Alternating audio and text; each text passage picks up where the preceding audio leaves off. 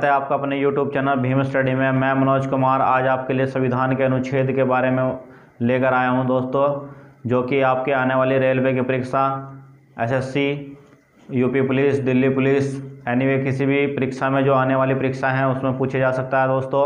तो अनुच्छेद पढ़ेंगे हम और उसके साथ साथ पढ़ेंगे भाग। संविधान में मूल, संविधान में कितने अनुच्छेद थे, कितने भाग थे और राज्यों का गठन कैसे किया गया, पुनर्गठन के बारे में पढ़ेंगे। यदि मेरी वीडियो आपको पसंद आए तो दोस्तों, मेरी वीडियो को ज़्यादा से ज़्यादा लाइक कीजिए, सब्सक्राइब कीजिए और शेयर करना ना भूलें। ज़्यादा से ज़्यादा लोगों में दोस्तों शेयर कीजिए ताकि जो लोग अपने घरों में बैठे हैं, वो भी बहुत अच्छे से स्टडी कर सकें। दोस्तों, भारतीय संविधान भारतीय संविधान में हम आज पढ़ते हैं भाग। भाग। देखिए दोस्तों, मूल संविधान में जो भागों की संख्या थी, वो थी बाईस। मूल संविधान में भागों की संख्या बाईस थी और अनुच्छेदों की संख्या अनुच्छेद। अनुच्छेदों की संख्या दोस्तों, तीन सौ पचानवे थी और आपके अनुसूची अनुसूची की संख्या जो थी, वो थी आपकी आठ। आठ अनुसूची थी मूल संविधान में। लेकिन वर्तमान में अगर मैं बात करूँ तो दोस्तों 22 भाग की जगह वो हो गए 25 भाग, और अनुच्छेद हो गए लगभग 460 और अनुसूची होगी 12 तो दोस्तों यहाँ तक कि हमने पहले भी पढ़ चुके हैं कि कितने भाग हो गए, कितने अनुच्छेद कितने हो गए। अब हम पढ़ेंगे भाग, और उन भागों में कौन कौन से अनुच्छेद दिए हुए हैं, और अनुच्छेद के बारे में कैसे कैसे व्याख्या की गई है। तो दोस्तों आज हम ये पढ़ने भागों के बारे में। भाग दे रखा है, भाग फ़र्स्ट, भाग एक अनुच्छेद एक से लेकर चार तक। अनुच्छेद एक से लेकर चार तक भारतीय संविधान में क्या क्या दिया हुआ है, इसके बारे में हम पढ़ते हैं और इसमें ही हम देखेंगे राज्यों के बारे में और कैसे कैसे उसको किया गया है। तो जैसे कि दोस्तों, अनुच्छेद नंबर एक। अनुच्छेद नंबर एक में क्या कहा गया है? अनुच्छेद नंबर एक में कहा गया है कि भारत भारत राज्यों का संघ होगा। भारत राज्यों का संघ होगा। कैबिनेट मिशन जब 24 मार्च 1946 को भारत पहुँचा था तो उसने सबसे पहले यही बात रखी थी कि भारत जो है राज्यों का संघ होगा और भारत राज्यों का संघ जब भी हो सकता है, जब सारी रियासतें, सारे राज्य एक साथ मिलेंगे। जितने भी प्रांत बने हुए थे, जितने भी राज्य बने हुए थे, यदि वे सारे के सारे आपस में मिल जाएँ तो यहाँ पे संविधान सभा गठन हो सकता है और आप लोगों को भी एक मौका दिया जा सकता है कि अपना संविधान लिख सको। ठीक है? तो सरदार वल्लभ भाई पटेल जी ने क्या किया? सारे रियासतों को मिलाने का काम किया, सारे प्रांतों को मिलाने का काम किया। और राज्य का गठन किया। और सारे रियासतें सारे एक साथ मिलकर इकट्ठा हुई। जबकि मैं आपको बताऊँ, हैदराबाद एक ऐसी रियासत थी जिसने मिलने में बिल्कुल ही इनकार कर दिया था। और ये क्वेश्चन भी पूछा जाता है कि कौन सी रियासत ने भारतीय संविधान सभा में भाग नहीं लिया था? तो ये रियासत थी आपकी हैदराबाद रियासत। तो जो बात उन्होंने कही थी कि भारत जो है राज्यों का संघ होगा, वही बात हमारे अनुच्छेद नंबर एक में लिखी हुई है कि भारत जो है राज्यों का संघ होगा। अब भारत में वर्तमान में कितने राज्य हैं दोस्तों? 28 राज्य हैं। कितने राज्य हैं? 28 राज्य हैं। 2019 तक के ये 19 राज्य थे 2020 तक के ये कितने राज्य हैं दोस्तों? 28 राज्य हैं। और केंद्र शासित प्रदेश है नौ। केंद्र शासित प्रदेश कितने हैं दोस्तों? नौ केंद्र शासित प्रदेश हैं। पहले कितनी संख्या थी? इनकी सात थी, लेकिन अब कितनी संख्या है? इनकी नौ संख्या हो गई। उसके बाद अनुच्छेद नंबर दो। अनुच्छेद नंबर दो क्या कहता है? अनुच्छेद नंबर दो कहता है कि संसद द्वारा नए राज्यों का गठन या स्थापना करने का अधिकार होगा।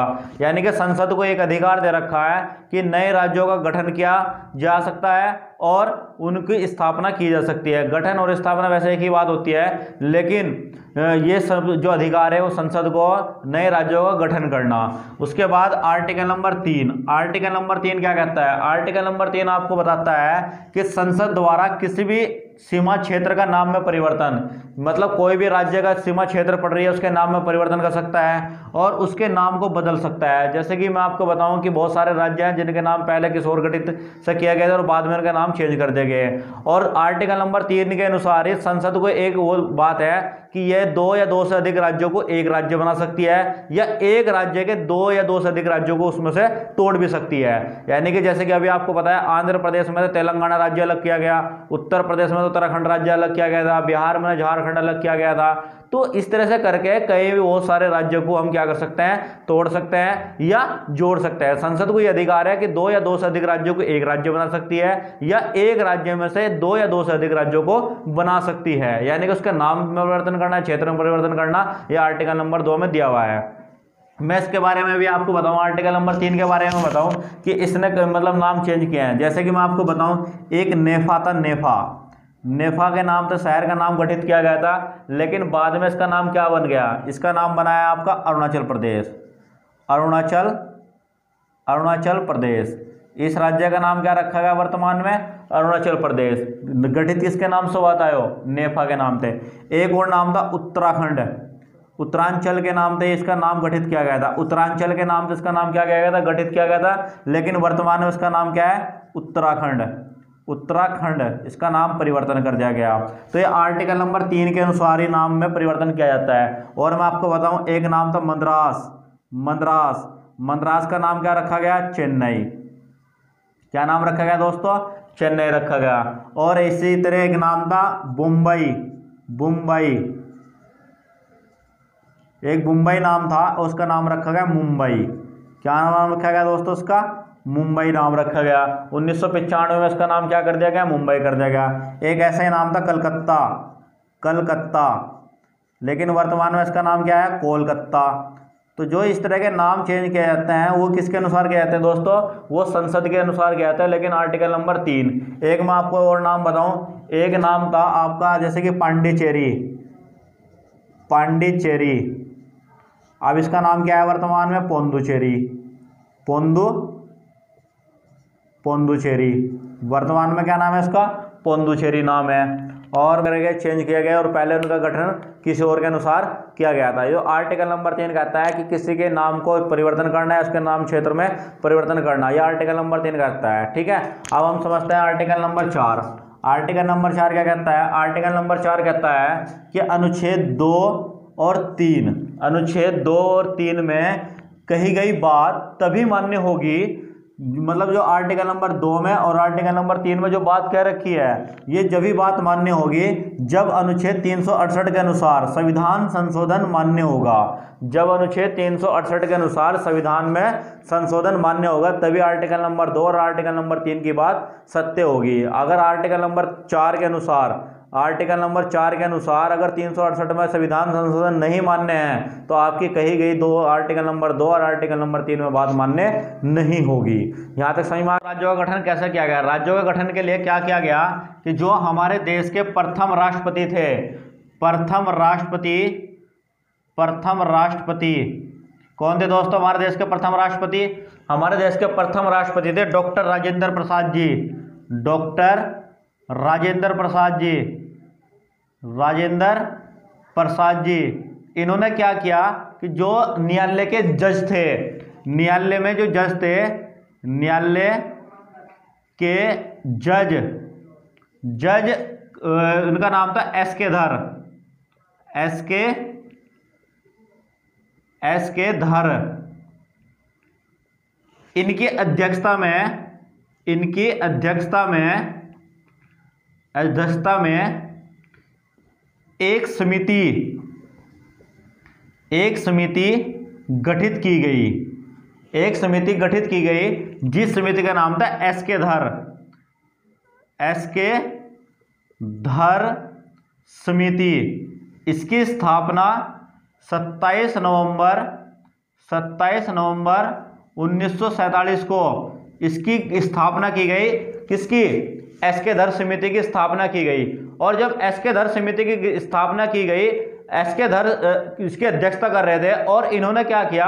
1948 के अंदर 1948 में राज्यों का जो का जो गठन किया जाएगा, वो किया जाएगा भाषाई आधार पर, भाषाई आधार पर। इन्होंने क्या कमेटी गठित करके क्या बताया था कि जो राज्यों का गठन किया जाएगा, वो भाषाई आधार पर गठित किया जाए।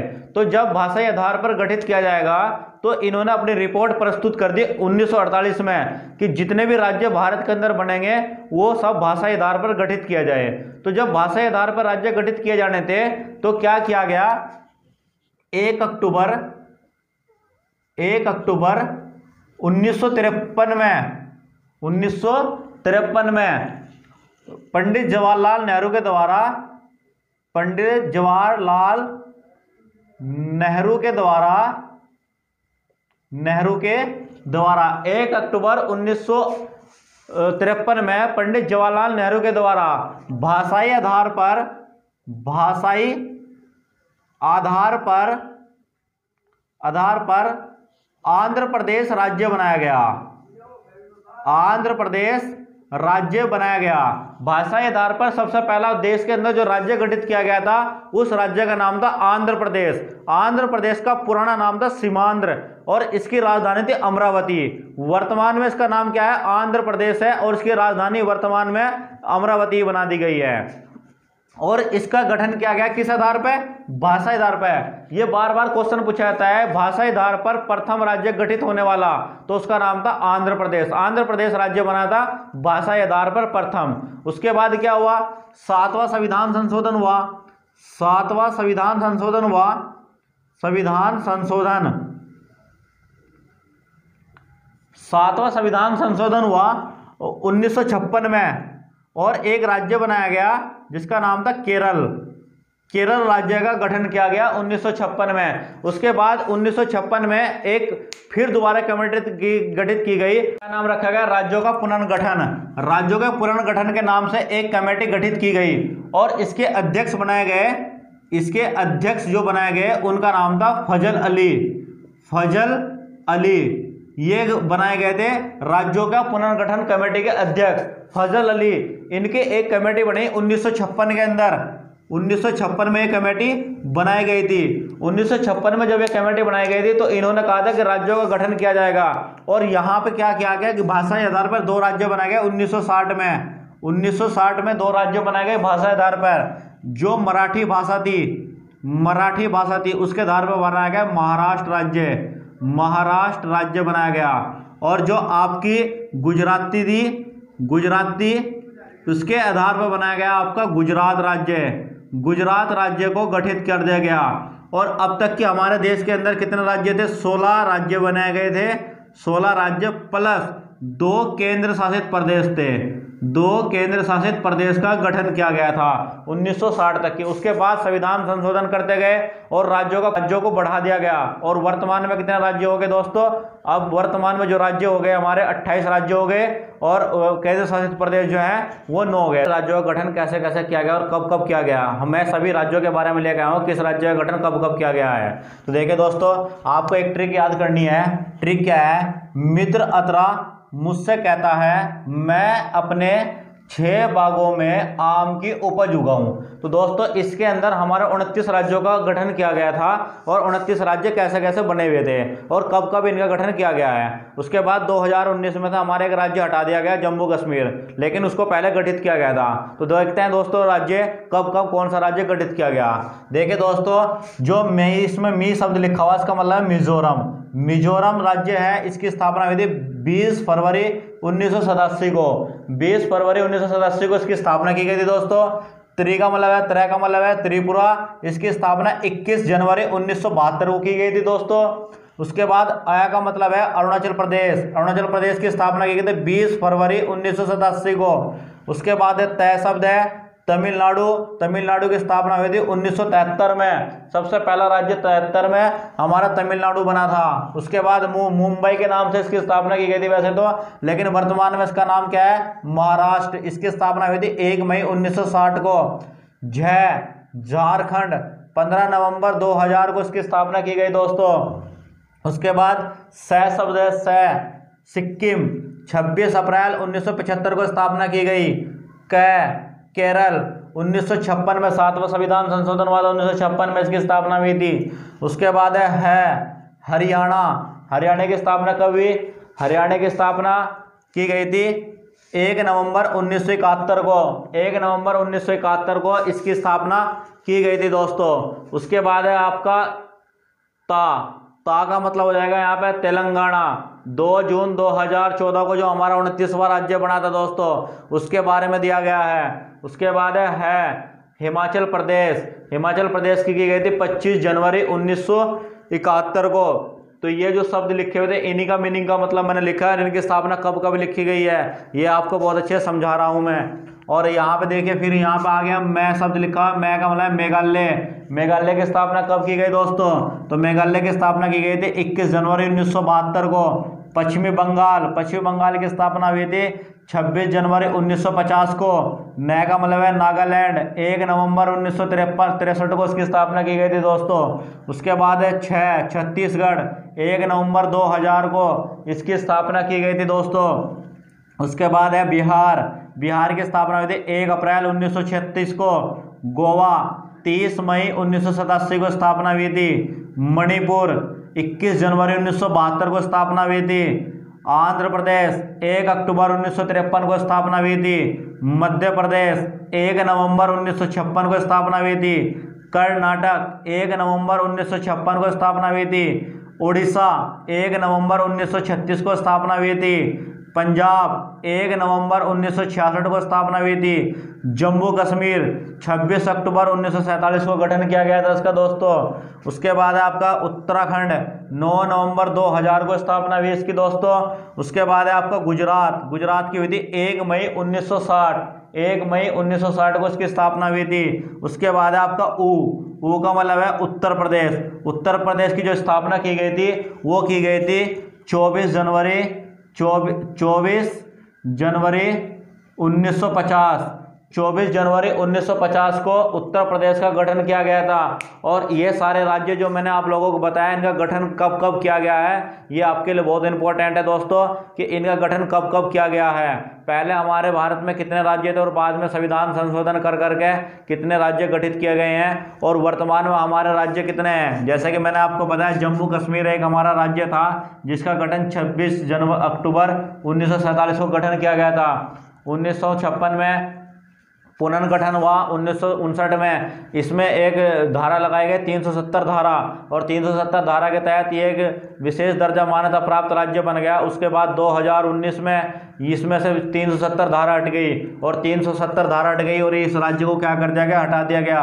और इस राज्य को जैसे हटाया गया तो इस राज्य में से दो राज्य बनाए गए, जिन्हें केंद्र शासित प्रदेश की श्रेणी में रखा गया है। और वे दो राज्य कौन से बनाए गए? एक जम्मू बनाया गया और एक आपका लद्दाख बनाया गया। ये दो केंद्र शासित प्रदेश इसमें से गठित कर दिए गए तो केंद्र शासित प्रदेश जो हमारे देश के अंदर बन गए, वो नौ बन गए, और जो आपके राज्य हैं, ये कितने रह गए? ये अट्ठाईस रह गए। ये उनतीस राज्य थे। जम्मू कश्मीर राज्य इसमें से क्या कर दिया गया?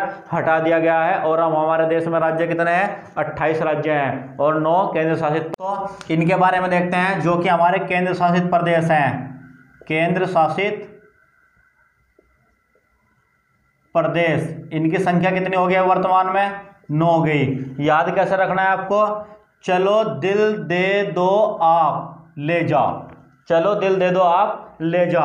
तो देखो, च का मतलब है इसमें चंडीगढ़ लय का मतलब लक्षद्वीप, दिल का मतलब दिल्ली, द का मतलब दमन में दीव, दा का मतलब दादर में नागर हवेली, आ का मतलब अंडमान एंड निकोबार और पै का मतलब पुंदुचेरी। और ले का मतलब हो जाएगा इसमें लक्षद्वीप और जा का मतलब हो जाएगा इसमें जम्मू कश्मीर। ये दोनों राज्य कब बने? दो ये बने इकतीस अक्टूबर इकतीस अक्टूबर दो हज़ार। इकतीस अक्टूबर 2019 को इन राज्यों का गठन किया गया।